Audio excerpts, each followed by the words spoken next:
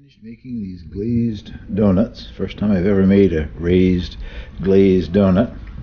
I don't think they're as pretty as those from Tim Hortons, but uh, they look pretty good to me. I'm going to give one a try. Let's see, I think I'll have a try with this one right here. Seems to have enough glaze on it. Mmm. Nice and soft on the inside and a little bit crisp, I guess, on the outside. It said it was supposed to be crispy and creamy. Hmm. We all know what they're talking about, I guess, that famous donut shop, but I've never had a donut from that donut shop, so I can't compare them. Hmm.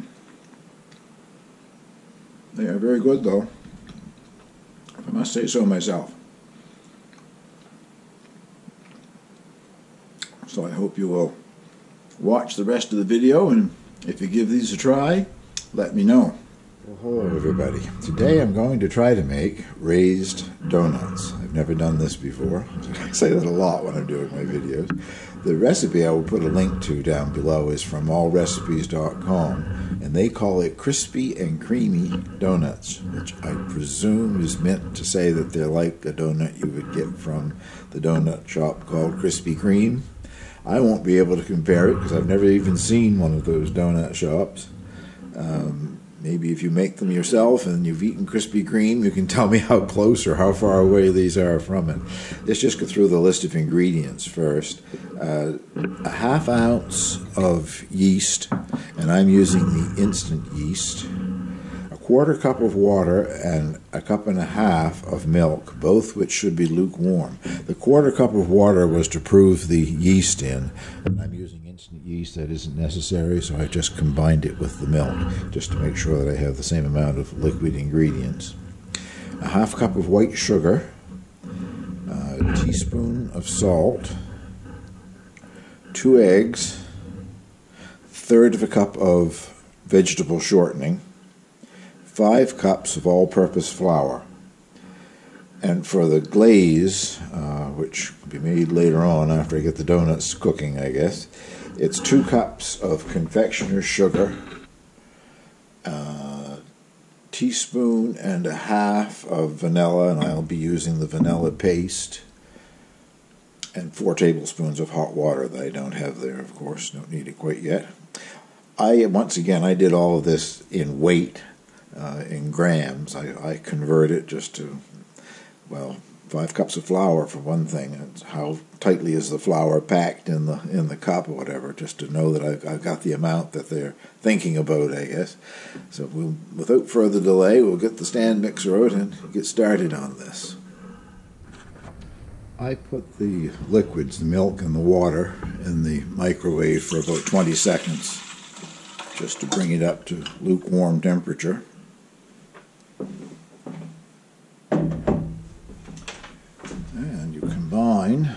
That with the yeast, sugar, the eggs, the salt, and the shortening.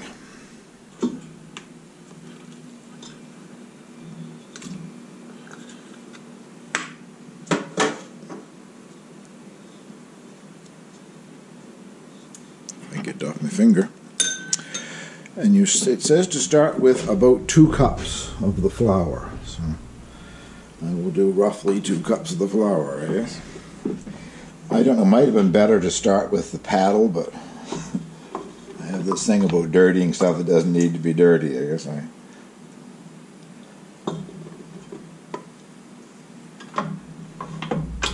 I seem to dirty everything in the house when I'm cooking anyway, so.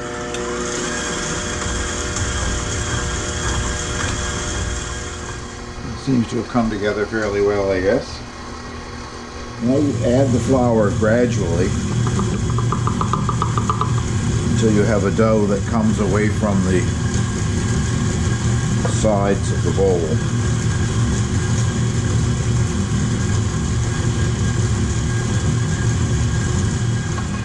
This thing is very noisy and difficult to talk over. But I think that's pretty much it. Add the last little bit of flour there. Now it says to let it knead for five minutes.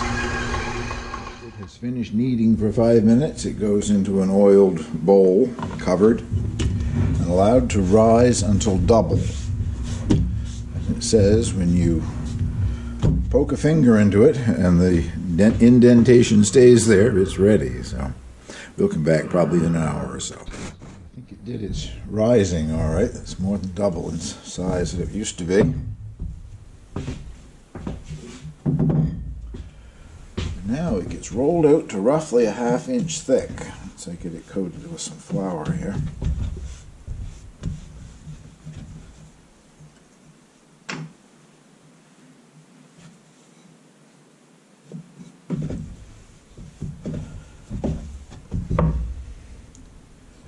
Just stick to the board if I can help it.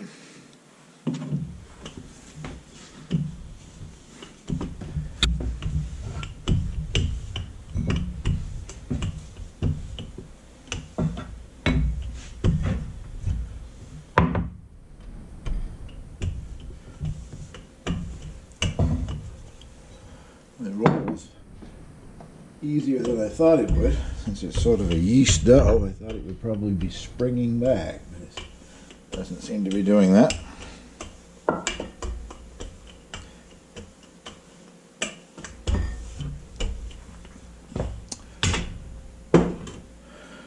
I think I found something that's older than I am. this donut cutter belonged to my mother, and I remember well her using it when I was a child.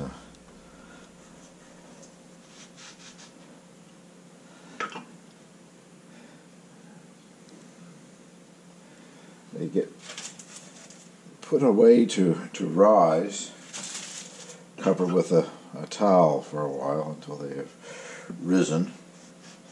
While that's going on, I'll start heating the oil and uh, make the glaze.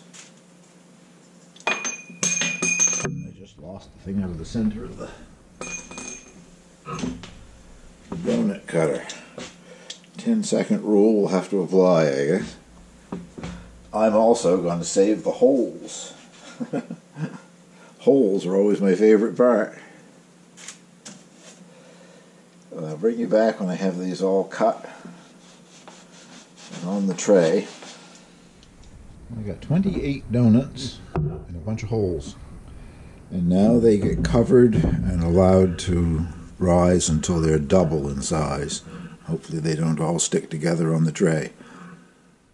While the donuts are rising, good time to make the glaze, I guess. A teaspoon and a half of vanilla. As I said before, I'm going to use my vanilla paste. I like it much better. And I won't worry too much about whether it's a teaspoon and a half or not. Just put a, a gob in there. That's the melted butter. Add to that the confectioner's sugar. I'm going to stir it around a bit first.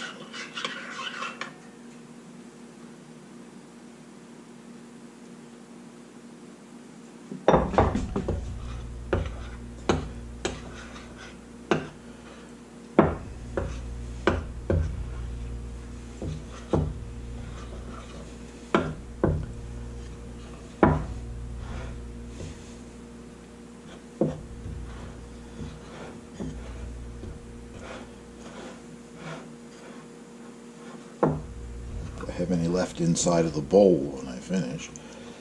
Okay. Up to four tablespoons of hot water. This water just came out of the microwave. I'll start by adding about a half of it, I guess.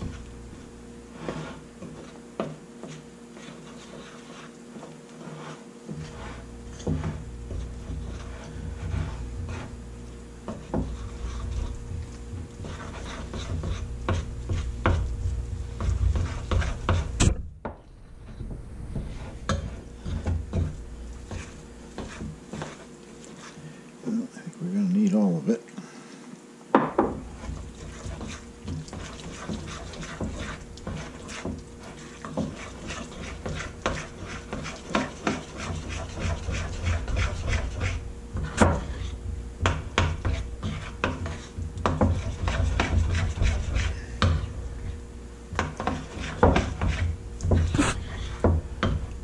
don't think that is quite soft enough yet. I think what I'll do is I'll put it in the microwave for a few seconds and see what it looks like then. I don't want to add too much water and end up being watery. If needs be, I'll add a little more, but right now I'll put it in the microwave for a few seconds. After a few seconds in the microwave, it didn't change it all that much. But you're supposed to glaze the donuts with it when the donuts are still hot. So I will go with that rather than get it too loose. I think it needs to be loosened up. I can do that at the time. I've already been tasting it. that vanilla makes it taste excellent. Mm. And I don't know if you can pick out the little specks or not, but you can see all the vanilla seeds in there. Well, the oil is up to 350 degrees, and I tested by frying one of the holes. I guess I'll try a few of the donuts.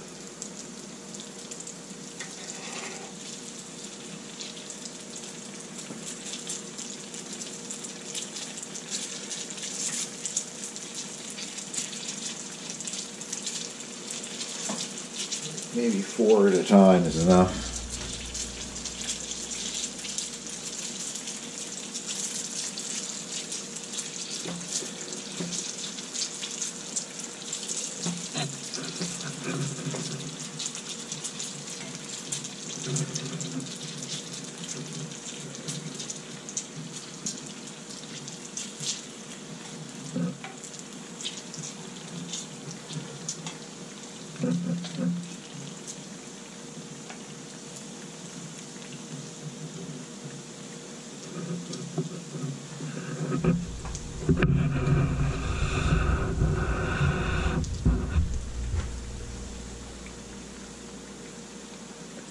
cutting the fire back because the oil keeps getting hotter.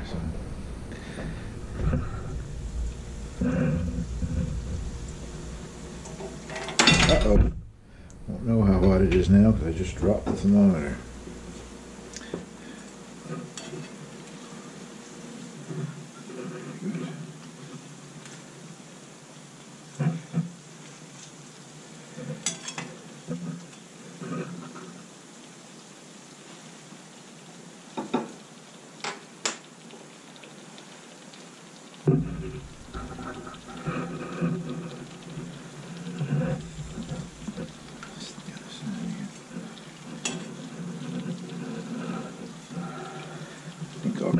Done. I'm putting them on a plate here with a paper towel to absorb any of the extra oil before I move them over to the rack where they will be glazed.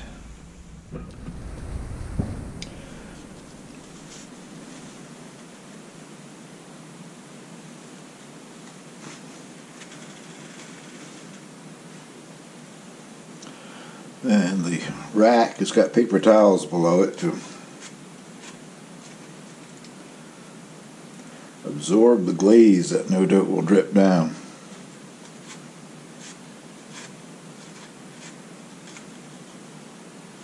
The glaze is supposed to be put on while they're still hot. And they are still hot. They're burning my fingers.